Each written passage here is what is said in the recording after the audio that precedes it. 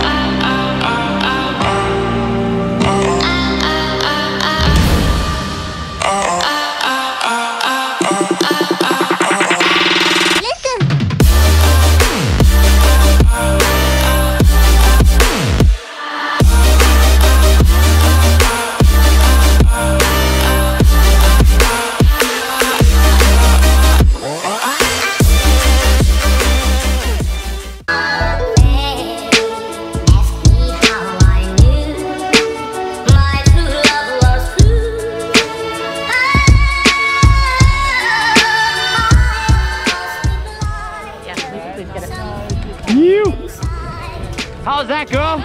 Amazing. Do you think you'd ever try it again? Awesome. Here comes Scott as well.